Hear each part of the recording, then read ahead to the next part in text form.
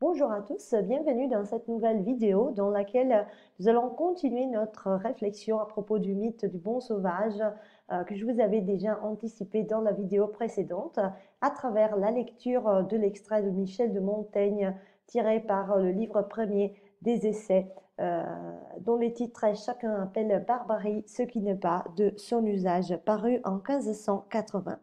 Ici, on aborde donc le thème de la barbarie comme euh, conception, on va dire plutôt relative, le thème de l'opposition entre l'homme civilisé et l'homme sauvage, et euh, certaines habitudes et traditions de la part des Indiens de l'Amérique du Sud, telles que par exemple le cannibalisme, considéré par le Français comme une attitude plutôt barbare.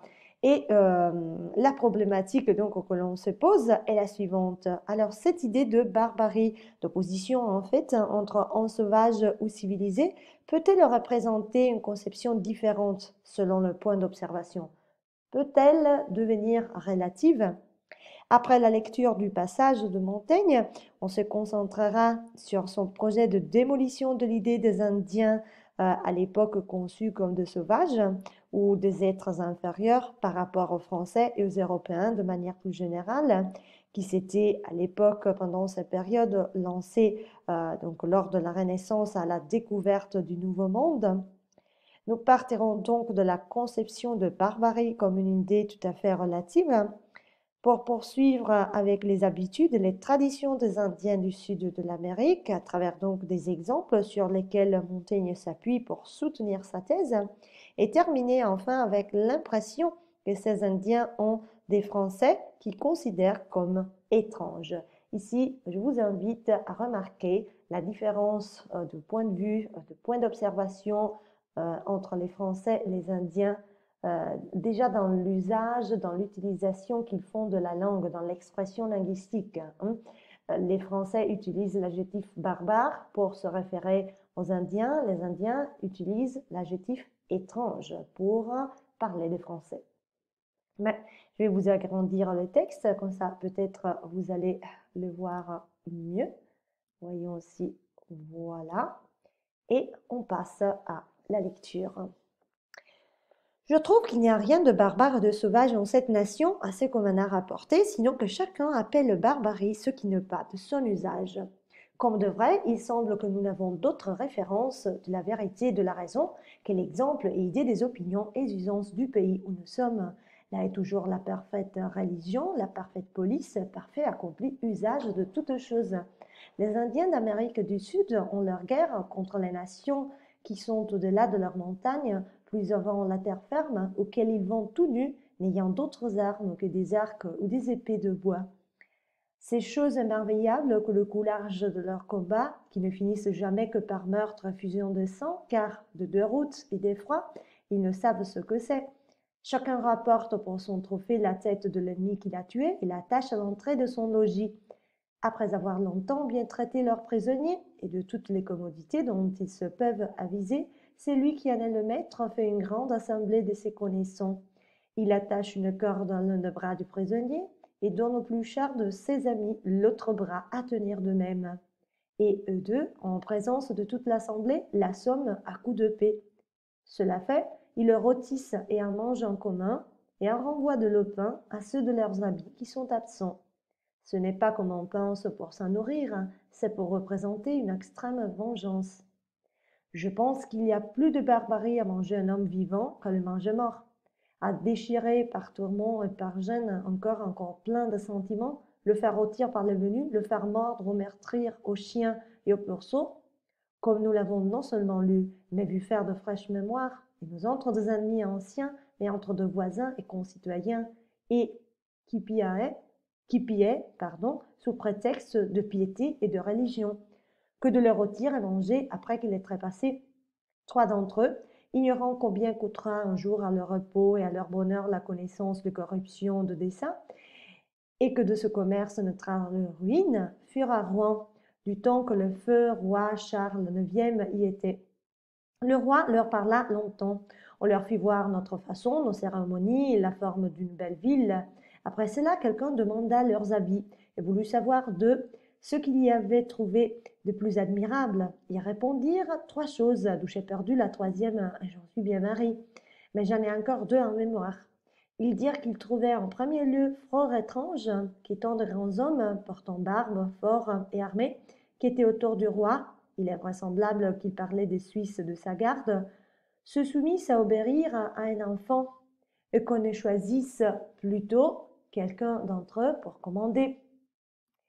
Secondement, ils ont une façon de leur langage telle qu'ils nomment les hommes moitié les uns des autres, qu'ils avaient aperçu qu'il y avait parmi nous des hommes pleins et gorgés de toutes sortes de commodités, et que leur moitié étaient mendiants à leur porte, décharnés de faim, de pauvreté.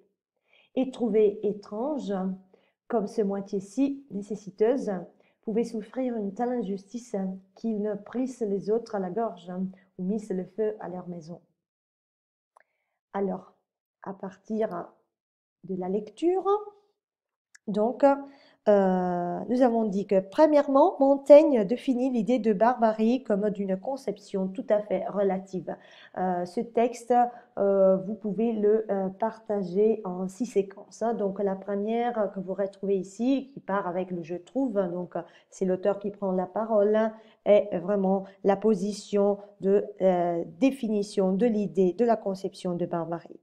En effet, Selon le pays où l'on habite, on a tendance à considérer son pays comme le meilleur. Vous le voyez ici, il a toujours la parfaite religion, la parfaite police, etc. Ou en tout cas, son propre pays, sa nation dans laquelle on vit, on habite, meilleur par rapport aux autres, en définant barbare ce qui n'est pas de notre usage, de notre tradition, ce à l'encontre duquel on n'a pas pris l'habitude. Ensuite, Montaigne, dans son argumentation, parle de la guerre. Euh, ici, à partir hein, euh, de la partie soulignée en bleu ciel hein, que vous avez euh, concernant les Indiens d'Amérique du Sud, il y a les guerres.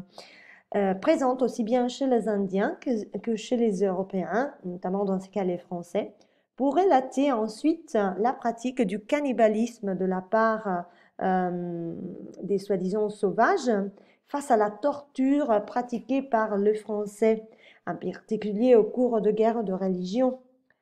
Montaigne souligne à partir donc de ce paragraphe déjà suivant le je pense à la ligne 21 le fait de préférer presque le cannibalisme à la, torture perpétrée par les Français à l'époque sous le prétexte de pitié ou de religion que vous retrouvez euh, ensuite entre parenthèses euh, ici. Et il se réfère bien évidemment, comme vous le verrez ensuite, à l'époque donc euh, de, euh, du conflit de guerre de religion, notamment entre les catholiques et les protestants à l'époque. Et la référence au roi Charles IX ici n'est pas faite au hasard, car c'était lui qui avait ordonné la, le massacre de la Saint-Barthélemy, poussé par sa mère Catherine de Médicis. Donc ce n'est pas au hasard si la citation est celle-là. Pour conclure ensuite son argumentation en faveur de la relativité de l'idée de barbarie, Montaigne nous offre la vision, le point de vue, le portrait des Français vu par les trois Indiens à Rouen. Et vous le retrouvez d'ici. Donc, euh, après les crochets, hein, vous avez trois d'entre eux euh, ces trois d'entre eux, ce sont les barbares, soi-disant sauvages, ignorant combien coûtera un jour à leur repos, à leur bonheur, la connaissance des corruptions, donc en référence euh, aux Français, et euh, de ce commerce naîtra leur ruine, furent à Rouen. Voilà. Du temps, donc, à l'époque, lors de la domination de la part de Charles IX, qui à l'époque était vraiment roi très jeune. Et donc, Montaigne nous offre, je vous disais, la vision, le portrait de Français euh, à travers les yeux de trois Indiens du sud de l'Amérique qui arrivent à Rouen à l'époque euh, où euh, Charles IX était au pouvoir. C'est lui qui avait provoqué le massacre de la Saint-Barthélemy. Les Indiens trouvent chez les Français deux aspects bizarres à savoir. En réalité, ils étaient trois, hein, et répondirent trois choses dont j'ai perdu la troisième, donc il n'en reste que deux, d'accord? Et quels sont ces deux aspects qu'ils trouvent bizarres chez les Français? D'un côté, l'obéissance due au roi, euh, bien qu'il soit un enfant, car Charles IX à l'époque avait 12 ans. Et euh, vous l'aurez trouvé ce passage ici à la fin de la page. Hein. Il est trouvé fort étrange que euh, tant des grands hommes euh, s'est soumis à obéir à un enfant. Voilà. Euh, donc à partir de la ligne 35 jusqu'à la 37 et qu'on ne choisisse plutôt, puis il va continuer quelqu'un d'entre eux pour commander. Voilà, donc un adulte, un homme fort, un militaire. Voilà.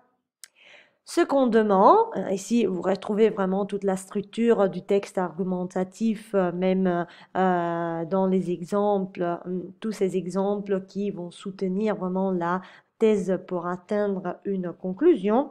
Donc le deuxième aspect qui est souligné comme étrange, non pas comme barbare, comme étrange par euh, les sauvages est cette idée de inégalité, d'injustice entre une minorité de gens riches et une majorité de pauvres. Et il trouve étrange euh, que la majorité de pauvres n'ait aucune réaction de rébellion, de révolte à l'encontre de ces faits-là. Voilà. Et il trouvait étrange comme ces moitiés-ci nécessiteuses pouvaient souffrir une telle injustice et qu'ils ne prissent les autres à la gorge, donc de la violence physique, ou missent le feu à leur maison, donc de détruire leur propriété. Et euh, l'aspect du point de vue linguistique qui est très intéressant à ce niveau-là est vraiment la contraposition entre l'utilisation euh, au niveau linguistique de l'adjectif barbare de la part de Français à l'encontre des Indiens. Donc les Français considèrent les Indiens barbares, ce qui a déjà une idée de euh, connotation péjorative, une idée de jugement. Alors que par contre, les Indiens qui arrivent à Rouen, lorsqu'ils parlent de Français, ils trouvent étranges les comportements et les habitudes des Français, non pas barbares, mais étranges. Ce n'est pas au hasard le choix au niveau lexical effectué de la part de Montaigne, car euh, à travers ce choix, il veut nous communiquer l'idée que les Français jugent les Indiens d'Amérique du Sud, alors que les soi-disant sauvages et barbares ont plutôt une expression au niveau du lexique plus délicate, donc ils trouvent étrange, euh, assez bizarre, une habitude, un usage, parce qu'ils le trouvent différent. Mais différent ne signifie pas inférieur forcément. Donc euh, le côté euh, vraiment de vouloir juger l'autre, pardon, appartient aux Français. Le jugement n'appartient pas aux Indiens. Et cela est très intéressant. Donc les Français utilisent le terme barbare, les Indiens le mot étrange. En conclusion, l'idée de barbarie est de montrer comme opinion relative, selon le locuteur qui parle. Ce qui paraît étrange aux Français ne l'est pas pour les Indiens et vice-versa. Et du point de vue de l'ouverture, on pourrait finalement proposer une ouverture sur l'opposition entre l'homme civilisé et l'homme sauvage dans la pensée des philosophes de l'âge de lumière, surtout dans la pensée de Rousseau. Et voilà. Et pour euh, notre thème euh, du mythe du bon sauvage, on a conclu notre brève réflexion. J'espère que cette vidéo vous sera utile pour réviser un petit peu la pensée philosophique euh, de Montaigne. Je vous remercie pour votre attention et au revoir.